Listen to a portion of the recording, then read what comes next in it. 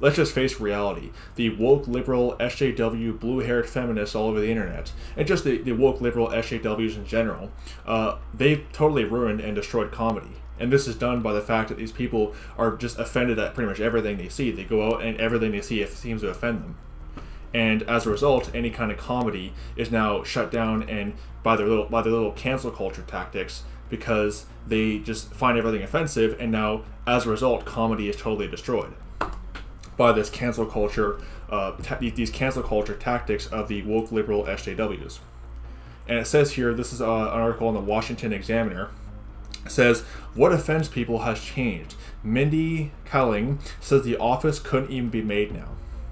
Yeah, because pretty much uh, these woke liberal SJWs who are just totally thin skinned are offended at everything. And if you say something that, you know, is making them feel like they're outside their little safe space bubble, then they just go all berserk says uh, Mindy Kaling, who played Kelly Kapoor on the hit show The Office, told Good Morning America that the show couldn't be made in the current climate and that the characters would all be canceled. Uh, asked about whether what her character would be up to now, she told the host, I think she probably would have quit Dunder Mifflin to be an influencer and then probably been canceled almost immediately. Actually, most of the characters on the show probably would be canceled by now. She added, referencing the rise of cancel culture. Yeah, exactly you know, because you can't just stand the idea of free and open uh, expression and speech. You gotta just cancel people who make you feel unsafe. I mean, what a bunch of thin. I mean, my generation in particular is a complete joke, but because that seems to be the primary the primary uh, uh, age age range age group who are these woke liberal SJWs that get offended at everything they see says here in the article, she explained that the show uh, that launched her career is so inappropriate now, further telling the host that we probably couldn't make it now. Uh, tastes have changed, and honestly, what offends people has changed so much now.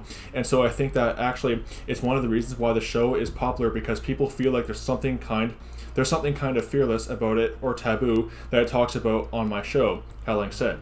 Yeah, exactly. You know, it seems that, that even comedy now is now taboo because these people just find everything offensive. They can't take a simple joke without blowing up in your face and calling you all these different uh, isms and phobes and everything else. Yeah, it's a bunch of garbage. You know, these woke liberal SJWs have totally ruined any kind of, you know, just simple joke telling because everything is offensive to them. You know, they want every every everywhere they go, they want to have the world, essentially the world they live in, be the little safe space. Well, that's not how reality works, and it's just a bunch of garbage because they destroy everything they touch. This cancel culture.